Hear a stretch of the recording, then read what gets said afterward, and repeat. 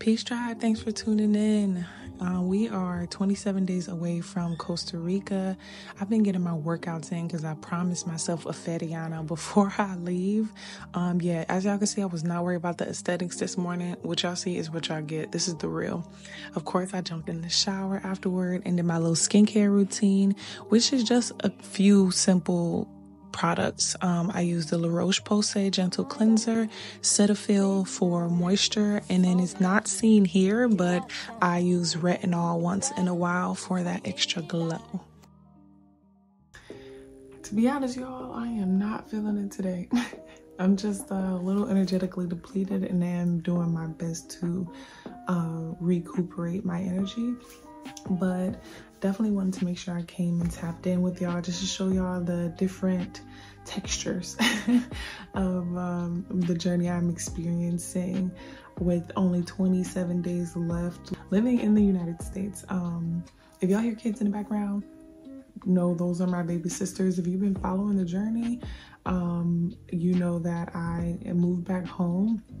So yeah, I live with my mom, three little sisters, um, which has been a beautiful experience. But today I've just been kind of like isolated a little bit. Um, just like I said, trying to regroup my energy.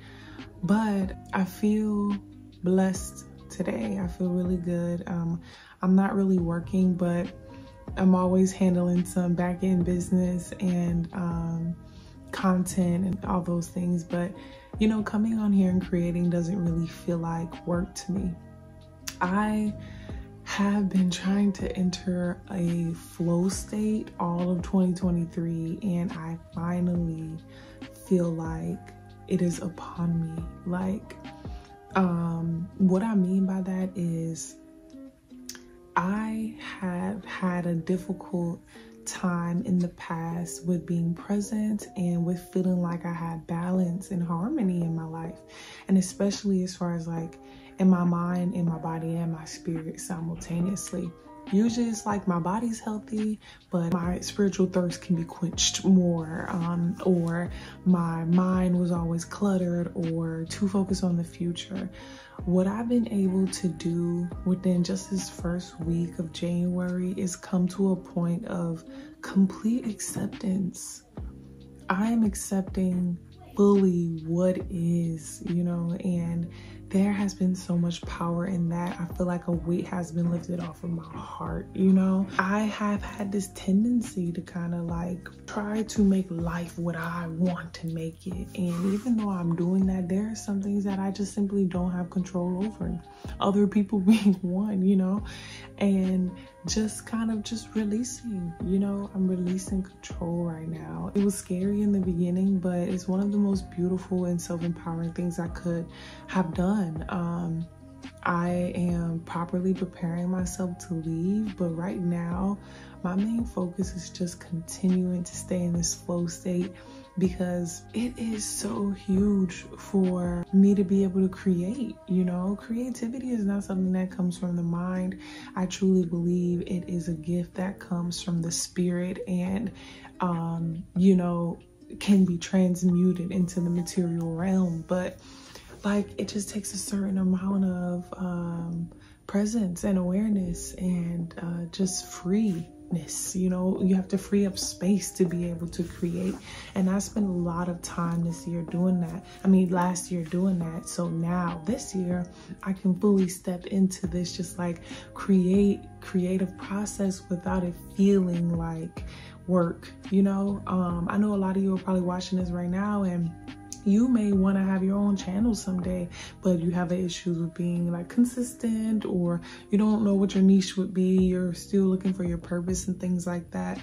And i was right where you are I was right where you are. Um but when I entered that flow state of just accepting what is and knowing what I want and going towards that with with love and with joy, it just becomes natural now. Like I'm here recording this video, it's like doesn't feel like work. It just feels like my diary. And that is something that I told myself I wanted um my all my social platforms to be really, you know.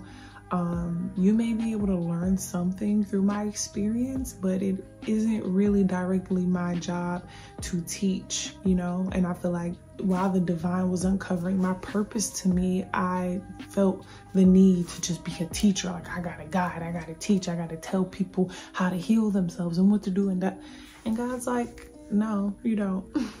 you have to work on you you know you have to um, heal yourself. You have to live life fearlessly. And that will inspire people. And that is is how you teach you know through example. And i was just like uh. And i love that you know because there's a lot of pressure in teaching you know especially being that we are all always going to be a student to life. So um, I feel way better now knowing that I don't have to have all this pressure. I just got to show up as myself, you know? This is me. this is me. Okay, edges undone. Um, your lips a little chat. this is me. Um, man, I'm so grateful. I'm so grateful to be in this space um, of self acceptance as well. You know, that is something that I like the most recent and pivotal download that I realized to be able to free myself from the shackles of fear. Um, and I felt that that was so imperative for this next level of my journey as well. Like, I had to release this perfectionism that I had placed on myself and was projecting onto other people so I could have a better relationship with myself and a better relationship with other people. We all know that this healing journey is never ending. You know, we're going to be learning and exploring and healing and downloading information until our last breath, is how I personally feel. But we don't have to live it like our mission is to fix ourselves, you know? There's nothing wrong with us and there's nothing wrong with others. And I'm not sure if this resonates with you, but I was really like meeting some really phenomenal people, especially in the dating realm, and picking them apart, you know, because I tend to pick myself apart. Um, on one hand, it has made me disciplined and and is what has gotten me to higher heights because I push myself, but it is also what kept me in mental turmoil and um, kept me feeling unsatisfactory with life in my relationships and career and creativity. And when I saw myself projecting that onto people, especially the people that I love the most, I had to take a step back and evaluate how I was the problem, you know? Um, and I found that I just, that, yeah, I have to accept you need to accept things for exactly what they are. And one mantra that I've picked up is just like, I don't want or need for anything. I don't want a need for anyone to be anything or anybody. I have everything that it is that I need. Anything that that is for me is is on it, it is here for me right now. Like I have access to it. But yeah, all in all, all in all, I don't want or need for anything. Everything that I have is everything that I need, and I'm gonna work with what I got, period. That alone was such a pivotal, eye opening mantra and lesson um, that I had to just see. You know, it's always been that way, but I just had to see it so I could be a little more at peace, you know? This next level in my life calls for me to be a soft girl you know? It calls for me to be soft. It calls for me to stand in my femininity more so i can be at in this place of optimal creativity and um, free flowingness and still dwelling in that flow state and contentment and happiness in life. And the word content is is a word that I never really liked because I'm like, ew, content.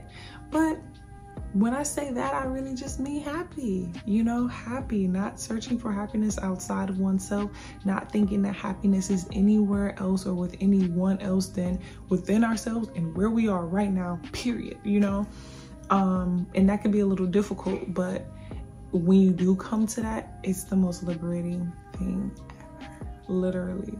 So I'm grateful for that. But I've seen this next chapter of my life it's the only reason why I'm stepping into it. You know, um, I was given a vision, um, and the divine told me like, this is your season of working smarter, not harder. I have been working my ass off for like, oh my gosh, for like the past five years, I would say like since I got, since I became not even just 20s, since I was 18, I was going, I was going, I was going. I started my first job at like 16, but like I was just going and going and I was working hard. I was working very hard, but now this next season of my life calls for softness, calls for femininity because there's so much power in that. It calls for taming the beasts and the passions that I have lying deep down within inside myself. Like, and it, it it calls for community. You know, I am going to, my tribe is waiting for me out there. Um, the love of my life, you know, I'm not even gonna sit up here and lie with y'all. Like I'm sharing real shit. Like I saw that my, like I may end up getting married when I move out there and who knows, having kids and that's never something I thought I would say. But the vision is there and I don't know why, but like my spiritual tribe, like people just keep saying like, you're gonna get pregnant. I'm like, please stop. I have things to do. I still ain't been to Acapulco. But you know, um, I see it. I see fertility, you know, um, not just physically, but within my business, within my creative adventures, within my um, community and just life in general. Like lots of fertility, lots of abundance, lots of peace and love. Um, being able to see that and keeping that image flowing in my head nonstop is how I am able to materialize it. I'm materializing it right now and I'm doing it by, and this is a this is a major key, y'all. I'm just throwing this in this regular vlog, but this is a major key. Feel it, feel it. I know that you probably heard meditation before and visualization meditation and things like that, but it's not just about seeing it. Seeing it is great too. Uh, you know how many times I imagine my feet in the sand and the water, like on the beach and laughing and cackling with my tribe out there. Like I've imagined all the things, but how does it feel? How does it feel? And then once you feel that, create that in your life in the present moment, right where you are. That was something that was really, really important to me because I didn't want to feel like I was running away from home, you know, running away from Atlanta to um, a better reality, um, which, you know, that's debatable. But I didn't want to feel like that I was looking for something somewhere else, like that I needed to find something in Costa Rica or that, you know, I was unfulfilled here and I was going to be more fulfilled there. Like, I did not want to feel that way. And um, I wanted to step into this journey feeling complete, feeling abundant, feeling happy, feeling like joyful and um, pros prosperous, and feeling like love and light and like that girl. And that I didn't have to wait. You know, I could do it right here in my mama house, you know, um, and then continue to vibrate with that frequency once I get there, you know, but not wait until I got there to vibrate on that frequency. I don't really feel like that's how it works. That's my personal opinion. But yeah, I'm really gonna take it easy for the rest of the day. Um, right now, I just feel called to kind of like sit with self, turn off my brain a little bit.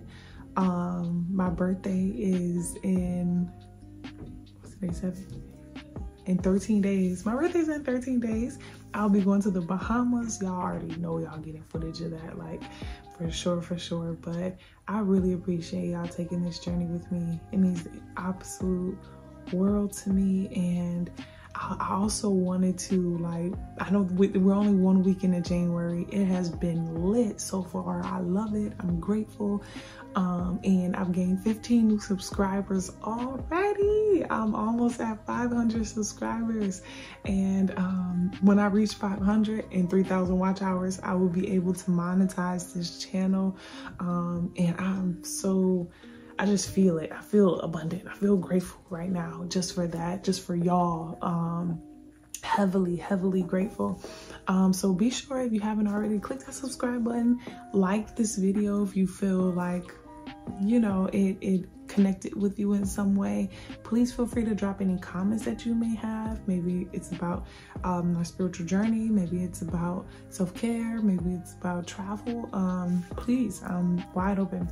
Um, and yeah, I am for the rest of January, the energy is alignment, love, flow, creativity, and preparation. Um, so I will definitely see y'all in my next video.